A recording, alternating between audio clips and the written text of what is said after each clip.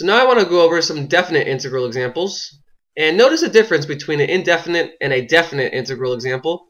Um, in a definite integral, we have a upper limit and we have a lower limit. And our lower limit is always the number below the integral. In this particular example, it happens to be a 2.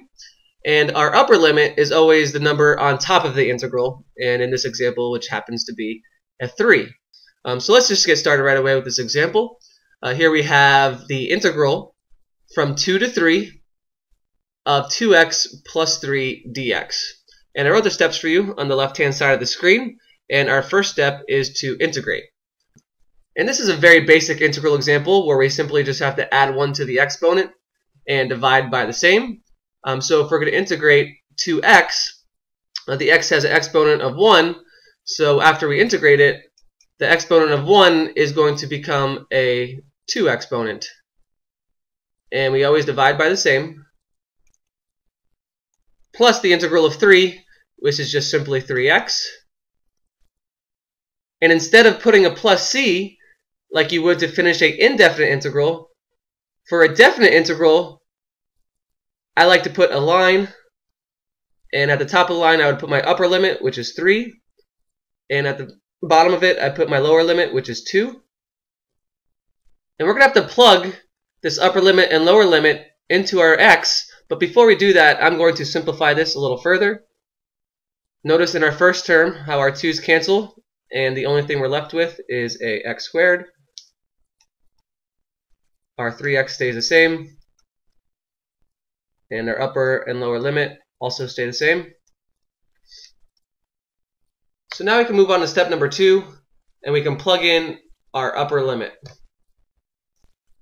So what we want to do is, is take our upper limit of 3 and plug it in everywhere there's an x. Um, so instead of writing an x squared, I'm going to write a 3 squared. And instead of writing a plus 3 times x, I'm going to put 3 times 3. And then moving on to our last step, we want to subtract our lower limit. So I'm going to subtract all of this, and then I'm going to plug in our lower limit everywhere there is an x. Um, so instead of writing a x squared, I'm going to put a 2 squared.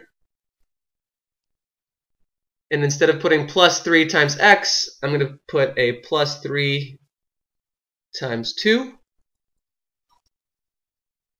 And now we just need to do some multiplication, addition, and subtraction. In our first parentheses, we have a 3 squared, which is 9, plus 3 times 3, which is 9. So 9 plus 9 is going to be 18.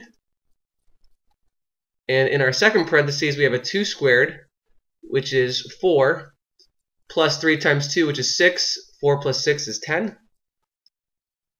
And of course, 18 minus 10 is just 8. And this is our final answer.